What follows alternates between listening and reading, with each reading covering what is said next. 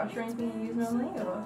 Yeah, I actually do have a brush. It was just like in like the drawer with all the like cutlery. I feel like you can use it for like pastries, like putting egg yolk in it or something. And then I just put it in my hair. Baby, don't fantasize. This is so gross.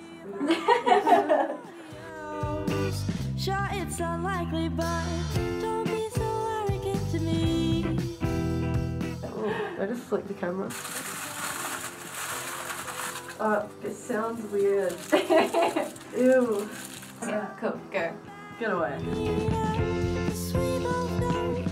So when I was still blonde, I was like wanting to do like a DIY hair mask and it said to use lemon juice and raw potato and something else. you put potato in your hair. Yeah, and it kind of like cooked in the hot water. so I just had like